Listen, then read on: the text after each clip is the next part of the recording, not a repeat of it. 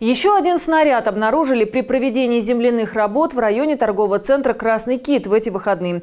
Все строительные работы были приостановлены, территорию взяли под наблюдение специалисты. Боеприпас уничтожен. Напомню, в начале сентября на этом же строительном объекте также был обнаружен снаряд, похожий на авиабомбу времен Великой Отечественной войны. В этом году в Мытищах это стало уже четвертым случаем, когда находят боеприпасы.